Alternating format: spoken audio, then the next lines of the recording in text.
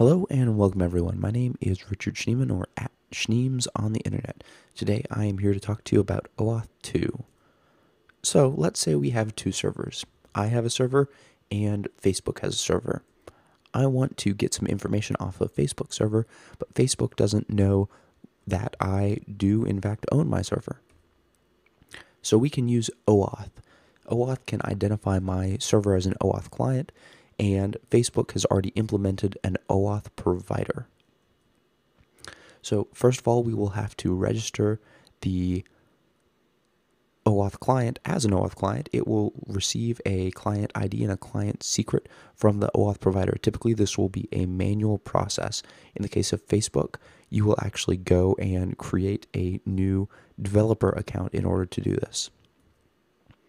Once we have those credentials, we can send a user over from the OAuth client to the OAuth provider and tell the OAuth provider that we are looking for authorization for this user.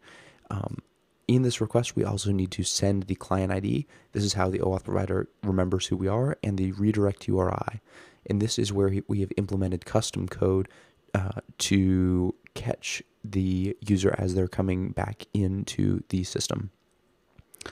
So the OAuth provider is going to want to know, is this okay with the user? Is the user going to want to allow the OAuth client to have access to this information, to their information? So they will typically show something like this, a screen asking the user whether or not they want access. If they say yes, I grant access, then the OAuth provider will respond by redirecting the user back to the redirect URI given by the OAuth client. In addition, it will also include a parameter of code. the code will have a uh, one time use kind of unique token that can then be exchanged for an, an access token. The OAuth client then will take that code and issue a post to the OAuth provider at a given URL and it will include the code as well as a client ID and the client secret that we got previously.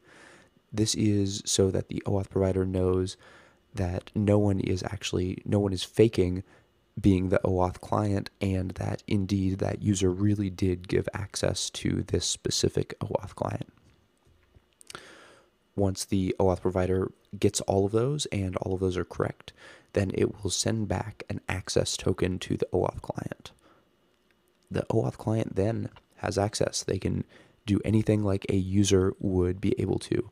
They just send the access token along to, with any uh, URL requests to the OAuth provider, and the OAuth provider knows that they are behaving like that user that has that access token. They will then return back the appropriate results. So OAuth 2 is very powerful, very useful. We see it every day uh, with Facebook, Twitter, uh, Google, Gmail, uh, G+. Uh, thank you very much for tuning in. Hopefully you learned something and have a great day.